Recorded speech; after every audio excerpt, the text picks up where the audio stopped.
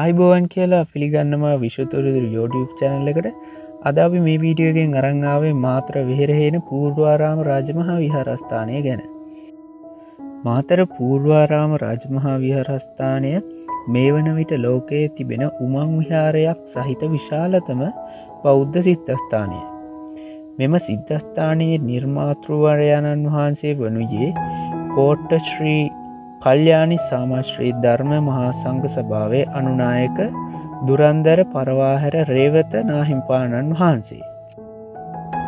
රේවත නාහිමිපාණන් වහන්සේ වෙහෙරහේනට වැඩම වන විට වෙහෙරහේන සතුව තිබුණේ අක්කර භාගයක් තරම් වූ බිම් ප්‍රමාණය. උන්වහන්සේ වෙහෙරහේනට වැඩියේ හිස් අති. ඓතිහාසික ග්‍රන්ථවල සඳහන් ආකාරයට උන්වහන්සේ මෙහි වැඩමවන විට රැගෙන ආවේ බ්ලැංකට්ටුවක් පැදුරක් පාත්‍රයක් පමණයි. මෙහි වැඩම කළ උන්වහන්සේට දක්නට ලැබුණේ දස අතම කැලෑවක් පමණයි. කැලෑව හෙළි පෙහෙළි කළ උන්වහන්සේ ප්‍රදේශවාසීන්ගේ සහයද ඇතිව කටුමැටියෙන් කුඩා ආරාමයක් තනාගත් බව සඳහන් වෙනවා. එහි කාලය ගත කළ උන්වහන්සේ වෙහෙරහේන පූර්වාරාම රජමහා විහාරස්ථානයේ නිර්මාණය කිරීමේ කටයුතු කරගෙන යාම ආරම්භ කළා. මේ සඳහා උන්වහන්සේට අදහසක් පාල වූයේ එවකට බෞද්ධ පුනරුදය වෙනුවෙන් විශාල මෙහෙයක් කළ අනගාරික ධර්මපාලතුමන් සමඟ ධර්ම ප්‍රචාරක කටයුතුරුවල නිරතල් සිටිද්දී ලබන ලද අත්දැකීම් වලින්ය. ඒ අනුව වර්ෂ එද්දාස් නමසේ තිස් නමයේ මාර්තු පස්වන දින අනගාරික ධර්මපාලතුමාගේ පින්බර සුරතින් මුල්ගල තබා මෙහි නිර්මාණ කටයුතු ආරම්භ කළ බව සඳහන් වෙනවා.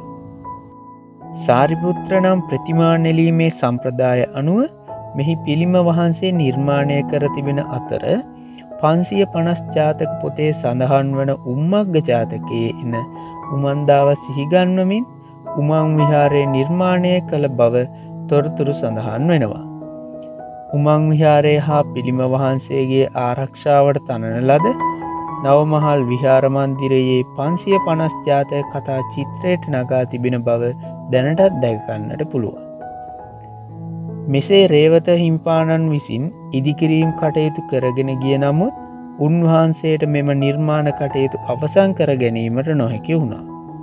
පිළිම වහන්සේගේත් නවමහල් විහාර මන්දිරයේත් මහල් දෙකක කටයුතු අවසං කළ උන්වහන්සේ එද්දාස් නමසය හැට අටේදී තරමක් රෝගාතුර වුණා.